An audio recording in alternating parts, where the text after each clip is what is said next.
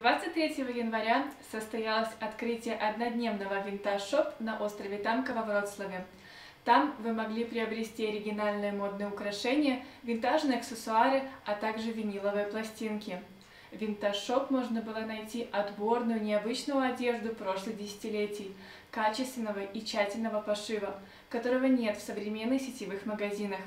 Здесь вы могли безопасно и в уютной атмосфере сделать покупки без отходов и поддержать малый местный бизнес.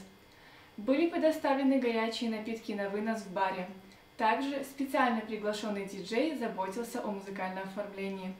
Вход был бесплатный, вход был только в масках, также присутствовали дезинфицирующие средства, а количество людей в магазине контролировалось.